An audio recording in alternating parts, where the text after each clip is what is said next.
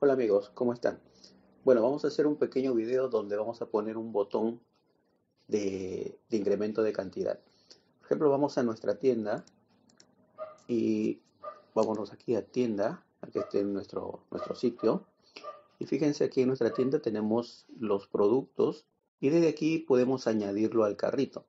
Pero, por ejemplo, en este caso que se trata de una tienda de venta de abarrotes, verduras, frutas, eh, a veces necesitamos que aquí, desde aquí ya poder eh, hacer el pedido de, las cantidades. Por ejemplo, si quiero pedir este producto, este producto es eh, solamente se vende por botellas de litro, pero de repente yo quiero comprar dos o tres o cuatro, etcétera, litros y desde aquí no puedo añadirlo.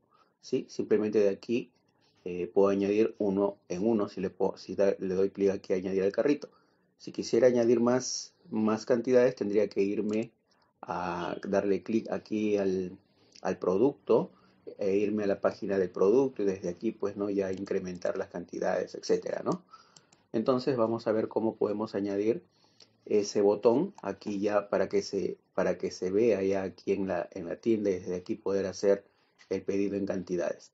Vámonos a nuestro escritorio en el backend y vamos a añadir un plugin. Vámonos a plugin, añadir nuevo. Y le ponemos aquí en el buscador de plugin QTY. Bien, es este plugin. QTY Increment Buttons for WooCommerce. Vamos a instalarlo.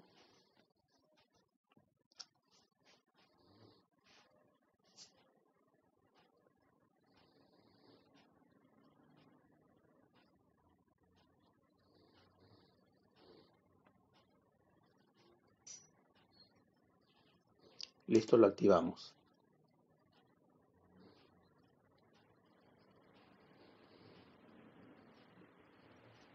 Muy sencillo de usar es este plugin y nos va a permitir hacer lo que deseamos. Bien, una vez aquí, vámonos al plugin. Aquí está y vámonos a ajustes. Bien, vamos a ponerle traducir acá para poder leerlo en español. Dice cargar en todas las páginas. Compruebe si el complemento no funciona correctamente y tu sitio fuera de la página. Vamos a marcar esto. Vamos a ponerle check aquí. Visualización de los archivos. Vamos a ponerle tanto en la tienda como en la categoría. Posición de archivo. Añadir antes del carrito o después del carrito. Tenemos esas dos opciones. Vamos a dejarlo con añadir antes, añadir antes añadir al carrito. Bien, compruebe, dice columnas de carro automático, compruebe y se observa que las columnas se desbordan, etcétera. Vamos a marcarle también aquí para que lo compruebe automáticamente. Elimine el espacio entre los botones de incremento, vamos a dejarlo por efecto. Alinear el centro también. Estilo del color, podemos cambiarle al color que nosotros deseemos. Vamos a dejarlo por defecto en el color plata.